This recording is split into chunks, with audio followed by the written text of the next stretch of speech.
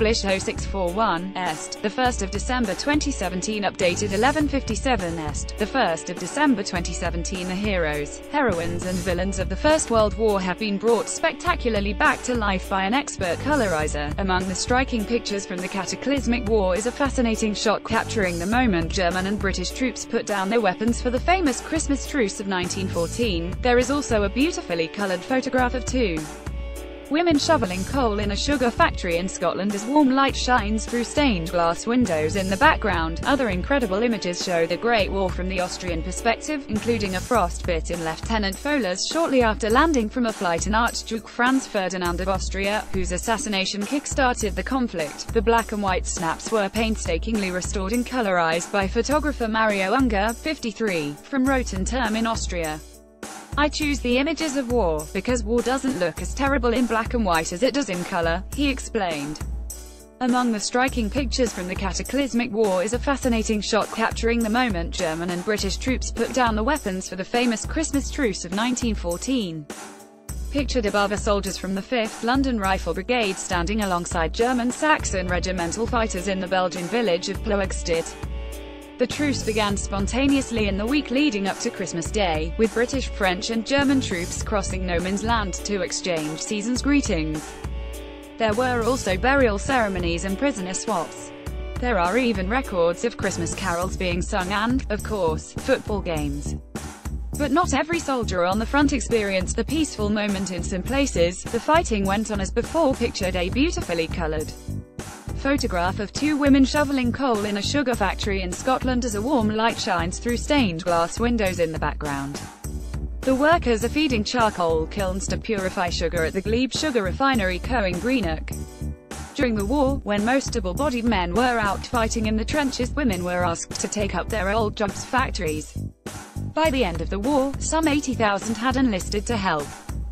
The experience is considered to mark an awakening among women in Britain and the West, with many of those who worked during the war feeling reluctant to transition back to a society where they largely excluded from the workforce. The black and white snaps were painstakingly restored and colorized by photographer Mario Unger, 53, from Rotenturm in Austria.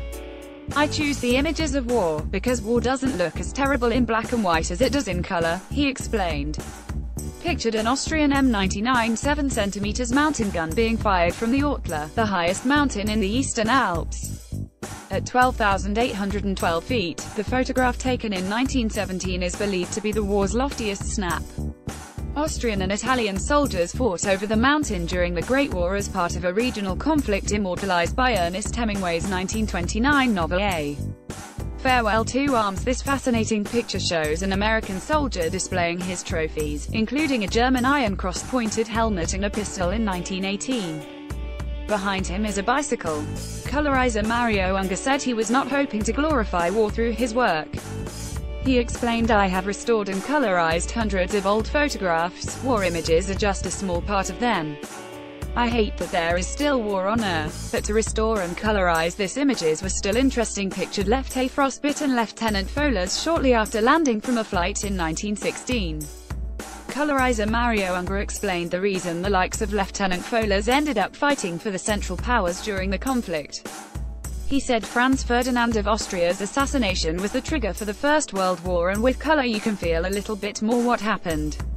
Write the same photograph before being colorized What a waste Austro-Hungarian imperial soldiers sit on the toilet in 1916. Franz Ferdinand's assassination led to a month of diplomatic maneuvering between Austria-Hungary, Germany, Russia, France and Britain, called the July Crisis. After a series of ultimatums, each country got behind a side in the conflict between Austria and Serbia and this led to the First World War man himself, Archduke Franz Ferdinand, is pictured above with his wife Sophie and their three children. The 50-year-old Ferdinand was the heir to the throne of the Austro-Hungarian Empire when he was murdered alongside his wife in 1914 by Bosnian Serb terrorist Gavrilo Princip.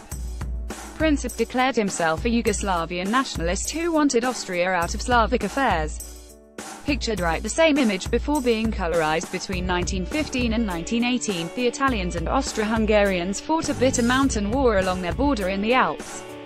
The Italians who were fighting with the Triple Entente were aided by the British, French, Americans, Czechs and Romanians while the Austro-Hungarians were aided by their German allies.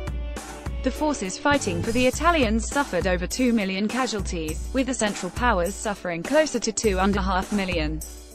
The Italians won a decisive victory pictured Carl Boy-Ed, the naval attaché to the German embassy in Washington, D.C. during the First World War, in full uniform. He and German Chancellor Franz von Papen were expelled from the USA in December 1915 after clandestine operations were reported in American newspapers. He died in 1930 after a horse-riding accident. Right Carl in black and white Franz Ferdinand shot countless big animals in his life. He is shown above in Ceylon, British India, after shooting an elephant. He went on a tour of the world between 1892 and 1893, where he was also photographed above the corpse of a Tigray light cavalryman from the Austro-Hungarian Empire, known as a Hussar is pictured with his wife, likely before the beginning of the First World War. Write the same image in sepia the Christmas truce of 1914 shown in black and white, before the masterly colorizing treatment from photographer Mario Unger not so lifelike Franz Ferdinand sat upon the elephant's back in the original sepia photograph, before Mr. Unger worked his magic upon it dull and dark the image of the Austrian troops fighting on the Ortler mountain is drab and obscure when compared with the colorized version. The two women shoveling coal at the Scottish sugar factory can be seen in the original black and white photograph, with the gorgeous light from the stained glass windows almost unseen. The jolly American parading his captured German loot is pictured above in the original black and white image. His helmet in particular suffers from the lack of color toilet time the Austrians on the loo are pictured above before they were brightened up and brought back to life by the sweat of Mr. Unger's brow. Austrian troops fighting in the Alps can barely be seen in the original sepia photograph above.